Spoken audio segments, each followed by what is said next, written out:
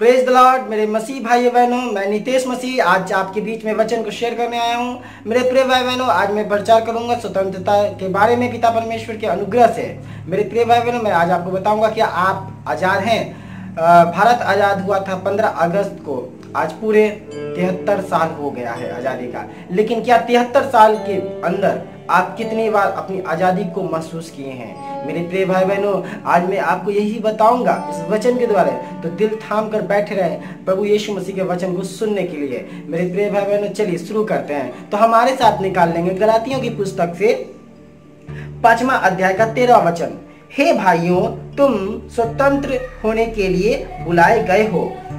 परंतु ऐसा ना हो कि यह स्वतंत्रता शारीरिक कामों के लिए अवसर बने, वरन प्रेम से एक दूसरे के दास बनो, क्योंकि सारी व्यवस्था इस एक ही बात में पूरी हो जाती है। तू अपने पड़ोसी से अपने समान प्रेम रख। मेरे प्रिय भाई बहनों लेकिन हम लोग क्या करते हैं? प्रेम नहीं रखते हैं। आज देखिए, एक दूसरे को मारा काटी हो रहा है। आज देखिए भाई भाई को ज़मीन जायदाद के लिए मार रहे हैं। इसमें मुझे आज़ादी नहीं मिला है। शैतान देखिए, आपके जीवन में ऐसा काम करता है कि आपको बीमार कर देता है। इससे हम आज़ाद नहीं हुए।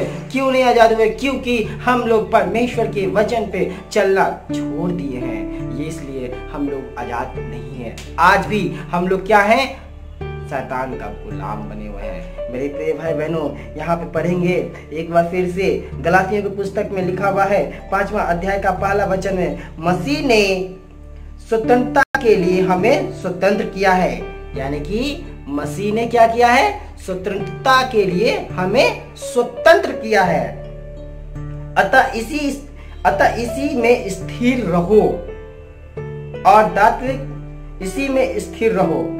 है ना? यानी कि मसीह ने क्या किया है? हमें स्वतंत्रता के लिए स्वतंत्र किया और मुझे क्या करना है? इसी में स्थिर रहना है। यानी कि परमेश्वर के वचन को पढ़कर, उसके वचन पर चलकर, उसी में स्थिर रहना जिससे कि हम स्वतंत्रता का अपने आप के अंदर महसूस कर सके। है ना? मेरे प्रिय भाई लेकिन हम लोग क्या है? आज भी क्या है? गुलाम है। किसके गुलाम है? शैतान के। शैतान ने हमें क्या कर दिया? इस गुलामी में घेर रखा है। मेरे प्रिय भाई बहनों मैं आज आपको इसी वचन को टॉपिक में बताऊँगा। एक बार फिर से दूसरा कुरुंथियों का वचन लिखाता है।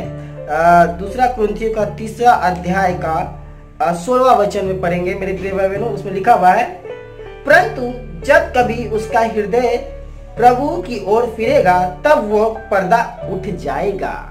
जब आप परमेश्वर के तरफ़ मन फिराइएगा तो क्या होगा? पर्दा हट जाएगा। और जब पर्दा हट जाता है, यहाँ पे लिखा हुआ है, परंतु जब कभी उसका हृदय प्रभु की ओर फिरेगा, तब वह पर्दा उठ जाएगा। प्रभु तो आत्मा है और जहाँ कहीं प्रभु का आत्मा है, वहाँ स्वतंत्रता है। यदि मेरे प्रिय भाई बहनों जब आप गलती करते हैं, जब अपने पापों का पश्चाताप करते हैं तो आप क्या करते हैं? अपने आप को अंगीकार करते हैं। कि प्रभु, मुझसे ये गलती हो गई, मुझे माफ़ कर दो, मुझे ये हो गया, मुझे माफ़ कर दो।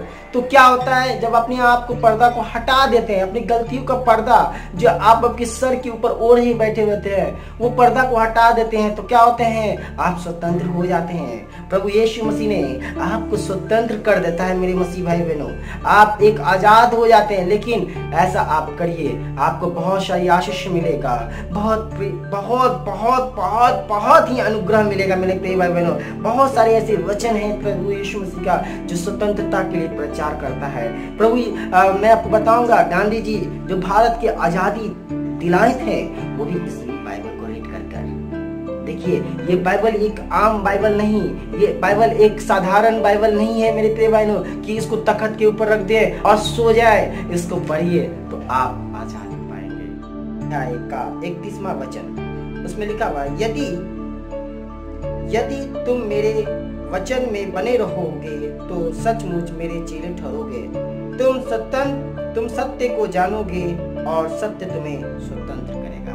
हालेलुया। प्रेज द लॉर्ड यानी कि हम सत्य को जानेंगे, यानी कि तुम मसीह के वचन में बने रहोगे तो आप सत्य को जानेंगे और सत्य को जानोगे तो सत्य तुम्हें क्या करेगा? आज़ाद दिलाएगा। जब तक आप सत्य को नहीं जानते मेरे प्रिय भाई बहनों तब तक आप क्या हैं? आज़ाद से आज़ाद नहीं जिस दिन आप परमेश्वर के वचन को समझ गए, जिस दिन आप परमेश्वर के वचन को जान गए, जिस दिन सारा चीज़ वचनों को समझ गए, जिस दिन परमेश्वर के वचन को जान गए, उस समय आप स्वतंत्र हो गए। और जब आप स्वतंत्र हो गए तो आपके अंदर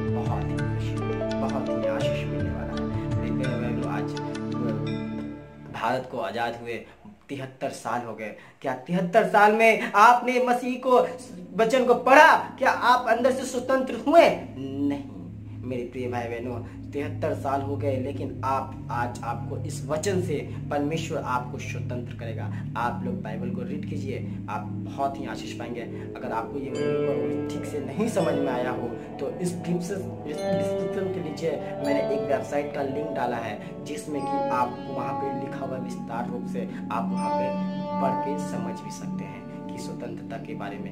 कि प्रभु यीशु मसीह ने हमें कैसे स्वतंत्र किया है, किस कारण से स्वतंत्र किया है। नीचे डिस्क्रिप्शन के नीचे लिंक दिया हुआ है मेरे मसीह भाई बहनों। उस लिंक को टच कीजिए और उस वेबसाइट पर जाइए और वहाँ पर स्वतंत्र के विषय में पढ़ें। प्रभु आपको बहुत आशीष दे। गॉड ब्लेस यू आमीन